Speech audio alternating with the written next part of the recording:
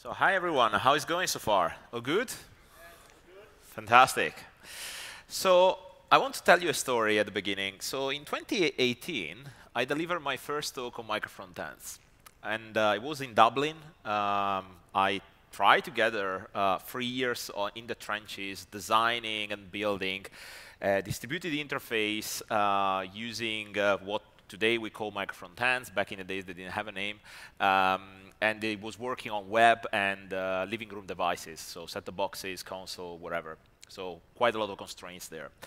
I have tens of uh, uh, dozens of developers on the front end only working on that. And it was, it was a real challenge because obviously on the front end, the only way to do so back in the days was discipline and the knowledge of design pattern across all the developers.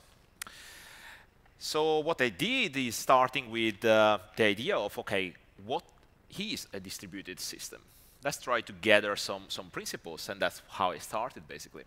Since then, a lot of things have changed. A lot of companies started to embrace this idea of, of distributed uh, front end. And, um, and, and they started to learn what was doable and how to do that, how to implement, what was wrong. And, uh, and, and they started to share this information with, uh, with the community. That is absolutely great, in my opinion. Obviously, a uh, few things changed also for me personally. I joined AWS in 2021. And uh, uh, this is one of my favorite sentences that uh, our CEO is, is used to say. Um, and I, I, started to consult for, for dozens of, of, companies worldwide, from New Zealand to, to Silicon Valley. Uh, and I started to, to see regular patterns, or better, anti-patterns. Uh, and, uh, and for me, it was important to try to map them and trying to collect them and understand what is really working? What are the common mistakes uh, that I have seen over and over again uh, from companies and, and, teams that were approaching microfrontends, uh, but they were making always the common mistakes? That's the reason of this talk. So I spoke a lot in the last few years about the benefits of microfrontends, but now I want to show you the other side of the coin and trying to mitigate that, possibly. My name is Luca. I'm a, a principal serverless specialist. Um, I'm based in London, uh, and uh, I work for AWS. I'm an international speaker and a books author. So let's start first with the benefits. It's the only slide where I show benefits, OK? So don't worry about that. Then I will show the dark side. Um, the first one, uh, why microfrontends are useful, because they allow you to have incremental upgrades. Uh, I think is uh, extremely important nowadays that uh, in large systems, because just to uh, do a big spoiler, microfrontends are not viable for every system. So if your single-page application and uh, server-side rendering one are absolutely fine architecture, but if you have a large system with large teams or a company that has to scale, uh, the possibility to have incremental upgrade is absolutely great. And the fact that microfrontends are independent units would allow you to, to do that and slowly but steadily uh, remove your monolithic architecture into a distributed one using microfrontends in this case. The second benefit is decentralization. And that I would say is more a mindset and cultural shift than a technical one. Very often we are used to have um, the technical leadership that uh, uh, takes uh, ownership of defining what goods looks like. Uh, they take decisions like frameworks, programming languages, and uh, um, sometimes design patterns and other things. There is nothing wrong with that. But to work in a distributed system, we need to empower developers and teams. They are the business experts. They are the ones that are closer to the action. They, can, they are in the best position to, taking, uh, to, to take a decision. So what the tech leadership should do now is uh, uh, facilitating and enabling them, what we call uh, the, uh, in great talk from, from uh, Susanne about uh, uh, team topologies, DDD and Wardley map. we talk about in team topologies um, about the platform teams or the enabler, enabler teams. And this is what they expect from a tech leadership nowadays in distributed system, but we need to have developers that are uh, empowered to take decision inside certain guardrails. We also want to have a cognitive load reduction. In team topologies, they explain very well this part, but think uh, in a very pragmatic way. when you have a, team that is working on monolithic code base, and, that, and this code base basically uh, may, maybe is like three years old, five years old, and there is uh, a bunch of new people joining uh, the company, then they need to understand end-to-end -end the design pattern that you apply, what is the state management that you use, what is the UI framework that you use, why you use Moment.js over another library, and so on and so forth. There is a lot that they need to learn. Usually, if you work with distributed system, your complexity for understanding the business area that you are uh, supposed to, to manage uh, is reduced drastically. I've seen teams that, uh, new team, brand new teams, that when they started to uh, pair with the uh, product managers uh, and starting to understand what is the business that they need to work, in a couple of sprints, they, they started to have their code in production. And that's exactly what we want to have.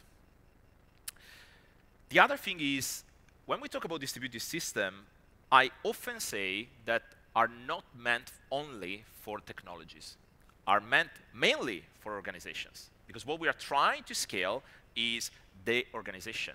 For your final user, they don't care if it's a monolithic architecture or is a distributed system. What they care is that they have the features that they're looking like, the, that they are looking for, and they, uh, they want to have like the service that, that, you, that you sell. So enough with the benefit, let's start with the anti-pattern. And let's start with the first one, or what I call the yin and the yang. The difference between micro frontends and components. That is by far the most misunderstood concept uh, when we talk about micro frontends. I give you an example. So let's take a component. Most common one, the button. A button in a design system usually has a label. Fantastic label. And then uh, suddenly, um, in one specific area of the application, we want to have the possibility not only to have a label, but also an icon. Fantastic. So then uh, this button started to get popularity inside the company. So now you have also the capability to change the border color because we need multiple portals. We want also to have a, a different rollover animation. And then you introduce uh, um, localization, so you want to have these uh, auto size uh, of the button based on language that, that you put in. And last but not least, uh, you want to have the possibility to disable by default the button. So as you can see, this button start, uh, starts to have quite a lot of features and capabilities. But what is the key differentiator between a component and a micro frontend? The answer lies inside the definition of micro frontends. They, as you can see here, they are a technical representation of business subdomain. If you're familiar with domain-driven design, probably you know what I'm talking about. They are independent implementation with same or different technology choice. Uh, they minimize the code share, and they're owned by a single team. Now, about all these things that I highlighted, only two are the things that we care about. Key differentiator is that microfrontends are looking to the problem from the business perspective. And the button is not business matters. It's completely different. Second thing is independent implementation. Now, if you think about a component, the reality is we have all these properties. We have all these capabilities with the component. But who is owning the domain? The container. The container instructs how the component should be managed. I want, I want it disabled, I want it with the red color on my border, and so on and so forth. A microfrontend doesn't work in that way. A microfrontend is self-contained. Otherwise, it couldn't be independent. So when we look at a micro front-end, few characteristics, has to be independent. I have, I, I, as a team, I want to be able to deploy that in production without any coordination. I need to optimize for speed in this case. And therefore, it's essential that when we see ourselves that we think we are doing micro front-ends and we are instead deploying and coordinating with multiple teams, asking ourselves, uh, what are we designing here? Micro front-ends are domain aware. So they have some boundaries, like when we talk about bounded context, uh, where you leave your logic inside there, and that's also why it's independent. Usually you define input and output. It's something that we are very used in uh, uh, the microservice world uh, using, uh, I don't know, API first design, for instance, one of the technique that uh, comes to my mind. So you define what are the input and output, and we will discuss uh, later on more about that. Uh, and, and that is the way how you are communicating inside the ecosystem. And last but not least, are less extensible. So if you think about a button, you can be the same button that is inside the header, inside the footer, inside the menu, wherever in, in microfrontends, usually because it's domain aware, the extensibility is reduced. So when you find yourself in something like that, you are probably dealing with distributed components, not microfrontends. So ask yourself, what are you optimizing for and what you are designing? Is it microfrontends or are components?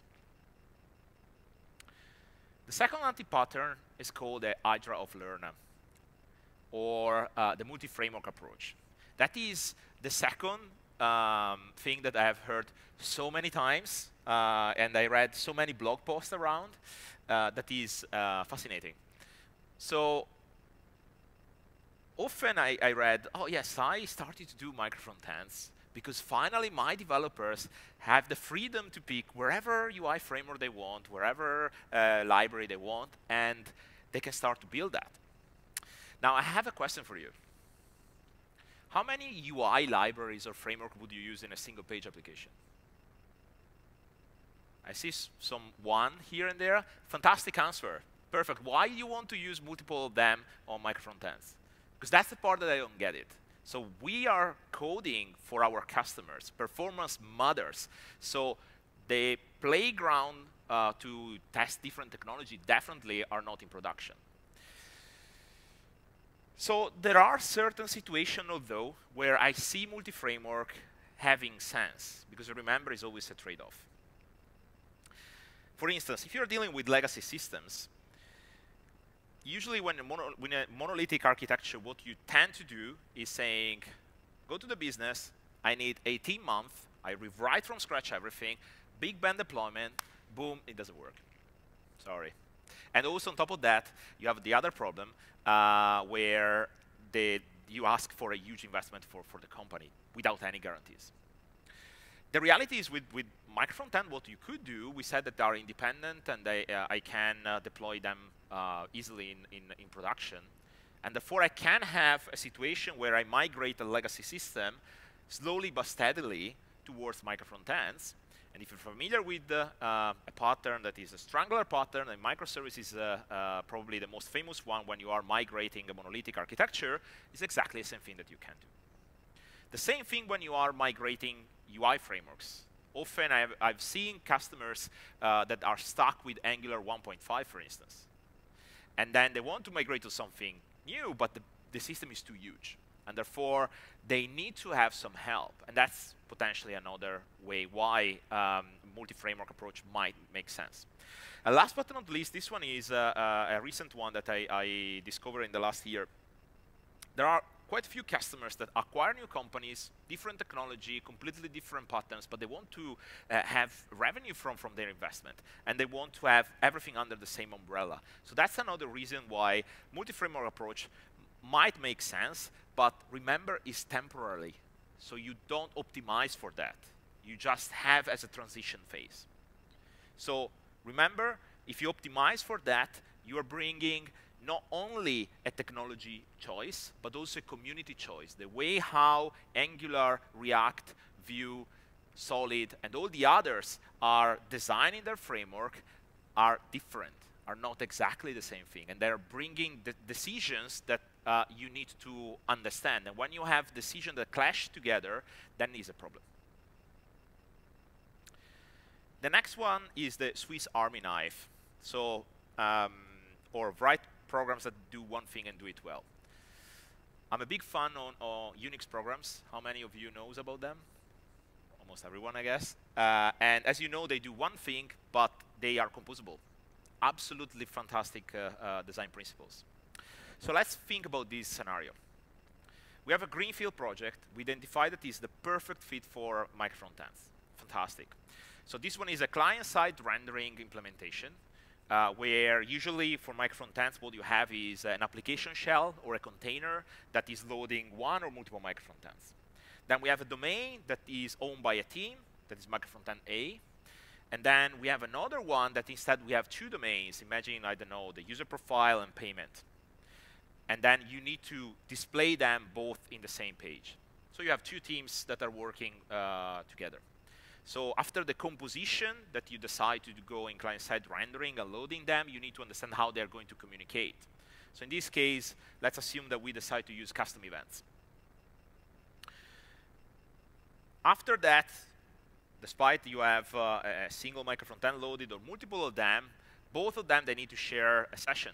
So maybe it could be, I don't know, local storage, or could be in session storage, the JWT token available, inside a cookie, up to you to decide what fits better. And that's what you have. Unfortunately, there is the legacy editor that could take eight months to be rebuilt.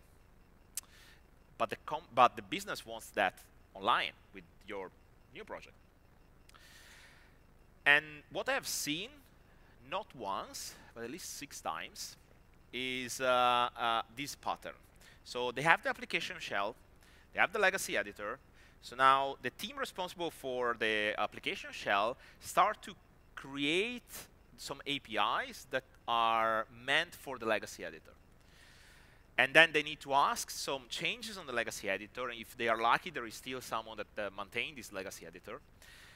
And they ask, OK, so now we need to build all this stuff. And, and they pollute, basically, the application shell with code that in probably six month time, eight month time, one year, will be trashed because it's not useful. It's just for uh, temporary use of this legacy editor. But we have learned better patterns uh, for dealing with this stuff. First one comes to my mind is the anti-corruption layer. The anti-corruption layer is a fantastic pattern that basically is trying to protect the inside world from the uh, outside world. And this is exactly what we're trying to do. So there is this legacy editor that has written with different technologies wherever, and instead of pollute the, uh, the code of your application shell that works perfectly with the brand new application, why not wrapping the legacy editor inside uh, an anti-corruption layer and use the anti-corruption layer for sanitizing the communication between the application shell and the legacy editor.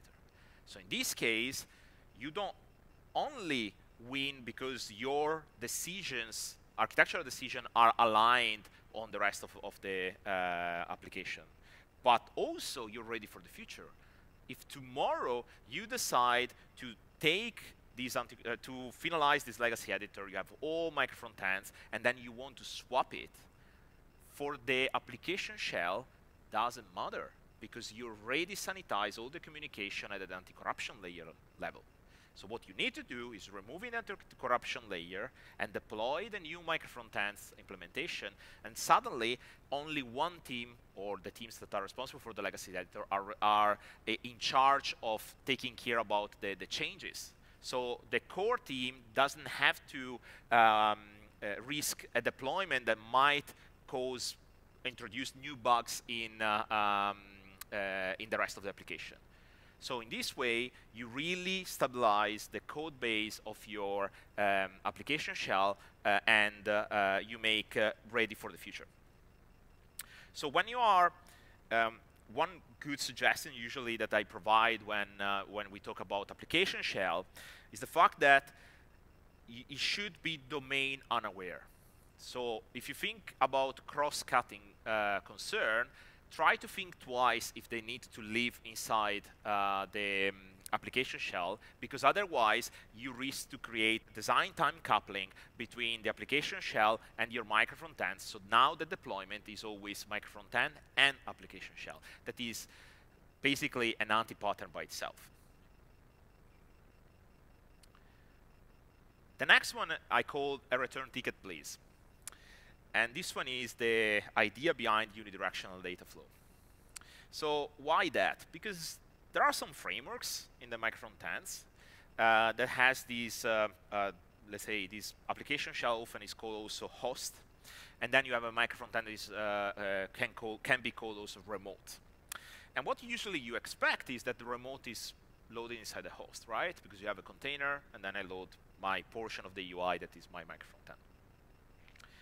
But certain frameworks allows you to do also bidirectional sharing. So I can have some stuff that are living in the container and they share with one, two, ten, do dozen microfrontends.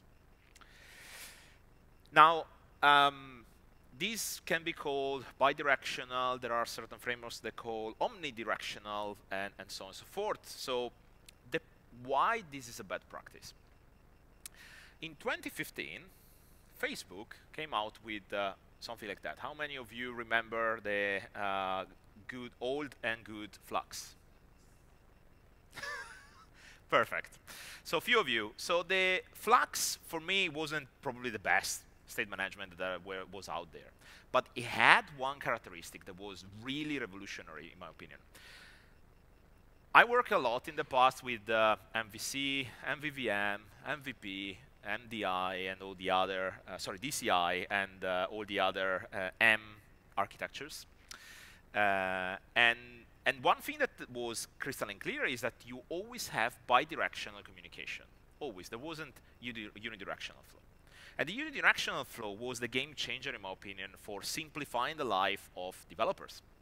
Why that? Because now ha you have like four elements, action, dispatcher, store, view, but the flow was always in one way because they hide for, uh, at the framework level, the update of the view wh when was needed think about nowadays, vast majority of the frameworks are dealing with uh, reactive programming for updating the views, and stuff like that. But for you, it's completely transparent. And the unidirectional data flow wasn't picked only by uh, Facebook in this one. Now, almost everyone is using this approach. But moreover, also the Android native um, development is embracing that with something that is called MVI, or Model View Intent. Model view intent is not available only for, for Kotlin or, or for Java. It's also available for JavaScript. Um, and also Elm is probably one of the best implementation that they've seen, but also Cycle.js if you're familiar with that. The beauty of this approach is that it's using uh, um, reactive streams for communicating across different elements. So when there is an interaction from the user, it's passed into the stream, an intent describe what the user is trying to do, send the, the new state to the model, the model update uh, whatever it has to update, and change and co communicate through another reactive stream to the view, and suddenly we have the interface updated. That is uh, another uh, approach that simplifies drastically uh, the way how we are developing stuff. Why that? Because what we have learned since then is that it's easy to debug. It's not just uh, let's say, easy to develop because some parts are handled uh, by, by, the framework and the, the, state management, but it's easy to debug. So I can understand that if there is a, a, problem in the action that is dispatched or if the problem on the model, I know exactly where to look it. And then it's also less prone to errors. Because we, we reduce the cognitive load, we know that these things uh, became uh, easier to manage uh, for, um, uh, for the developers. Therefore, unless it's strictly needed, try to avoid uh, the, uh, the bidirectional sharing and trying to keep uh, the unidirectional mindset also for sharing things. And always from the parent to the children, not the other way around, please.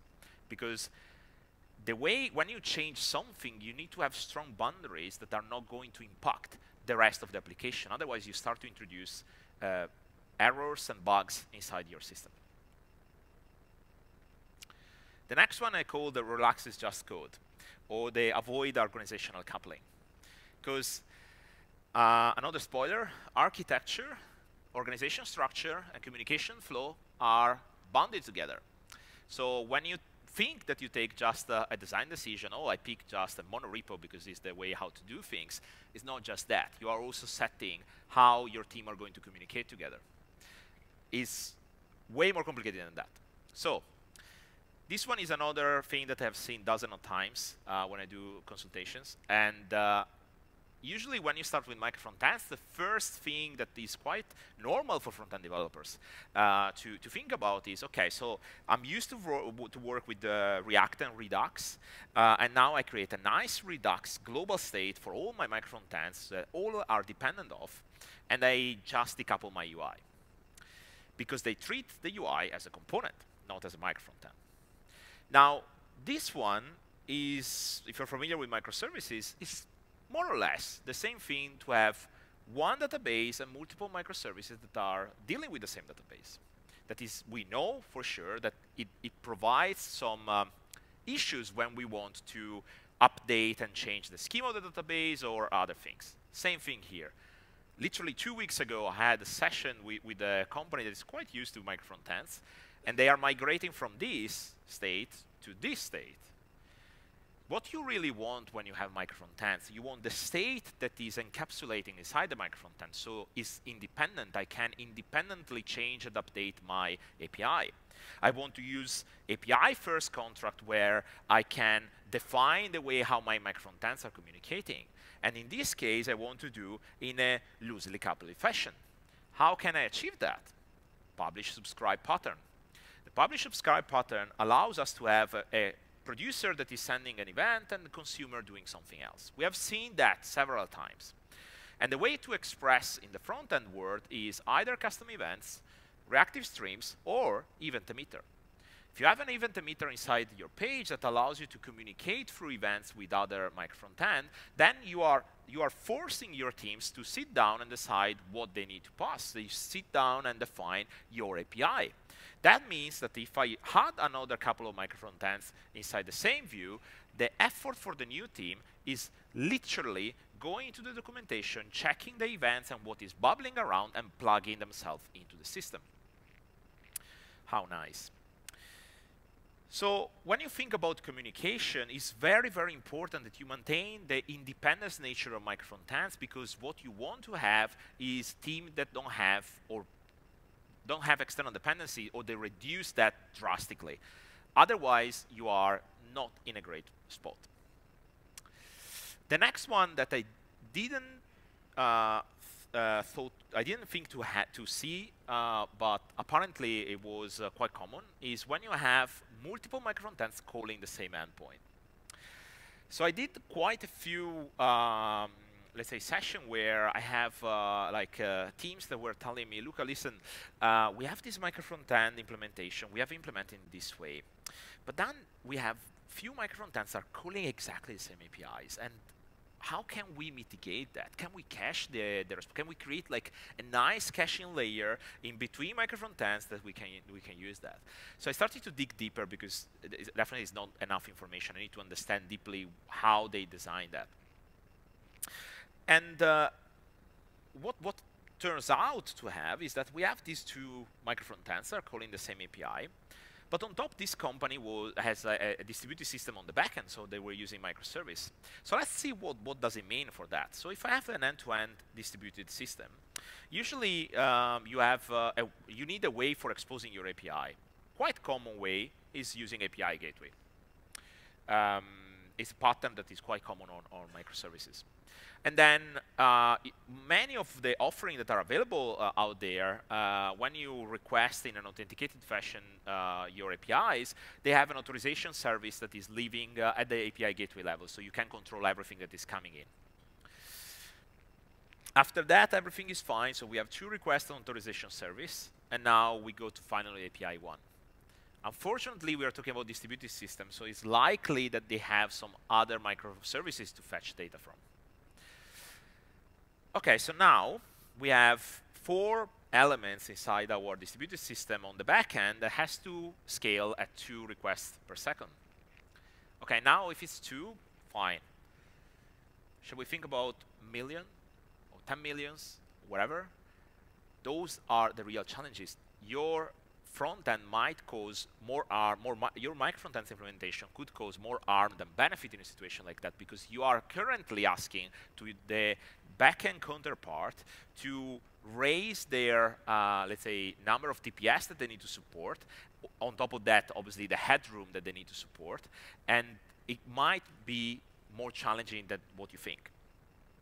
So possible solution for something like that. Usually, the first suggestion that I have is shall we go to the whiteboard and trying to understand if these two microfrontends are really two independent microfrontends?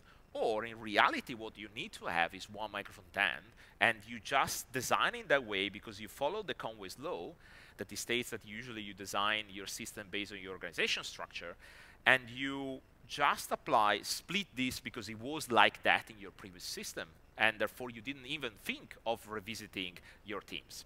And sometimes this one is uh, uh, the, the, right answer. Another one, although, uh, that I found on top of the first one is this one. So we said that the components are leaking the domain because the domain is, the is owned by the container. So let's create a micro frontend that owns the, the domain, so it's calling one API, and then is, through properties, is injecting those inside the component it's kind of normal for front-end developer doing this, but often, uh, you know, because they are focusing on the on the component and not focusing on the business boundaries, they might risk to to uh, not get in there. So try always to understand the end-to-end -end impact of your decision because often it's not just front-end. So the last one that I want to show you is probably the one that in the last year I've seen more often and I call bye-bye Big Bang or iterative deployment. The challenge that often people are stuck with is the migration strategy. So now I have my monolithic architecture and I need to migrate to microfrontends. How can I do that? The complexity is that we don't have anymore just one artifact that contains JavaScript, uh, CSS, and all the other stuff. What we have is multiple teams that are deploying their, their um, microfrontends, the uh, independent uh, system, and they you need to migrate from, from this monolithic to another one. And what I have seen so far is that um, vast majority uh, of the time, the best way is starting from one portion of the, the uh, application. So you can use like a part, like for instance, catalog. And the catalog one is a microfrontend. So when you have one or multiple microfrontends ready for the catalog, you redirect the traffic towards this microfrontends part. And you rely on, on uh, all the rest of the, the, your routes into the monolithic implementation. Now, the question could be, how can we do that? How can we shift the traffic towards one place and another one? So it depends if you're doing server-side rendering or client-side rendering, but let's pick client-side rendering. That probably is the most common one that I have seen. So usually, people start to do this routing and this redirection uh, on the client-side level.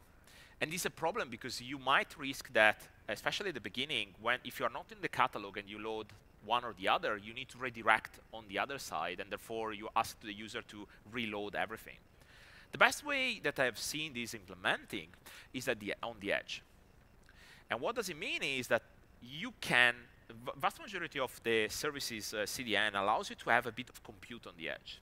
So when you have a request that is coming like, I don't know, slash catalog, instead of, uh, again, polluting the code of your application shell, what you can do is say, okay, I intercept this information, and then slash catalog has to load the microfrontend path, not the, the monolithic uh, uh, architecture.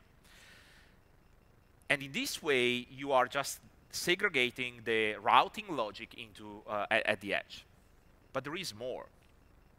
When you start to have a situation where you have like home, catalog, and all the other microfrontends ready, you can also think with this technique to implement some safe net for your developers. Because what we are creating, and is quite important when we think about distributed system, is the investment around developer experience and uh, um, uh, the DevOps part. Because what we want really is that when I deploy a new independent entity, I want to see if it's working and how it's working. And vast majority of the compute on the edge allows you to retrieve information like user agent or where the user is, is uh, uh, requesting the page or stuff like that. So potentially what you can do is saying, I now have Home that is a microfrontend. I want to test it against uh, the, my um, previous system, so the monolithic one. What I want is that 5% of the traffic is going to the new microfrontend only if the user is coming from Sweden. And maybe I can also say I want to, to that is coming from Sweden and is using Chrome.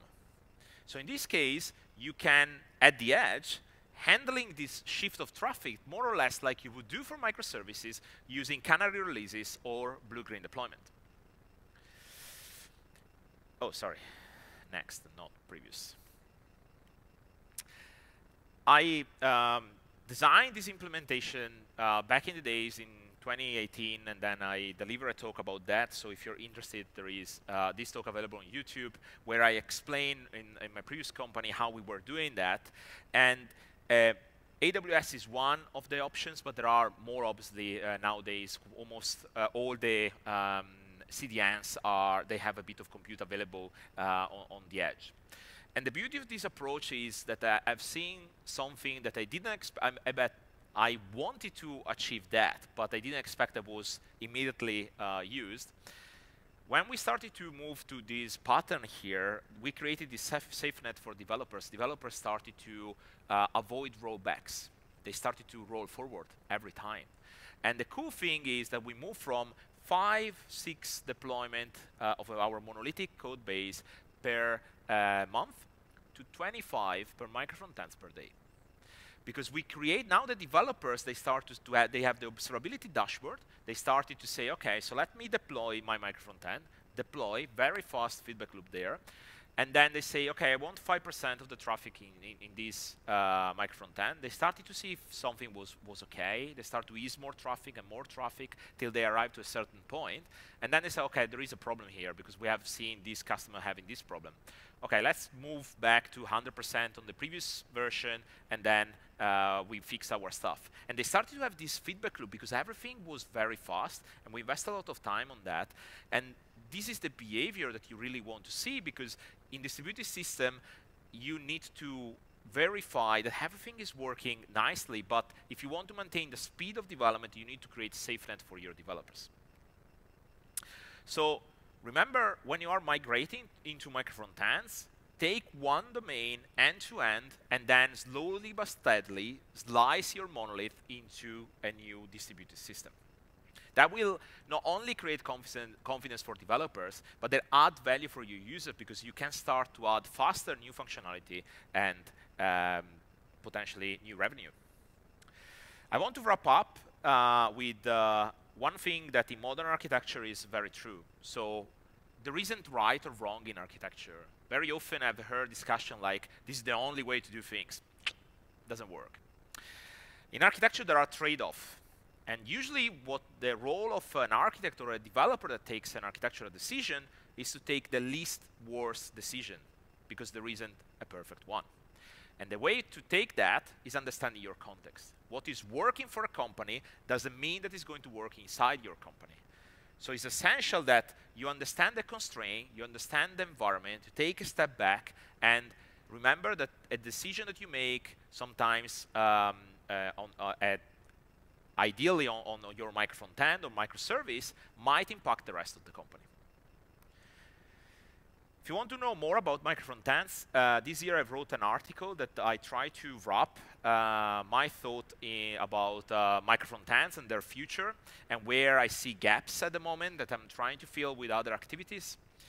And uh, um, that's all I got. Hope that you enjoyed and uh, enjoy the rest of the conference. And if you have any question for me, uh, you can ask here you can, uh, you can find me uh, outside. And also, if you want to email me, because tomorrow in a week time you have other ideas, feel free to do so.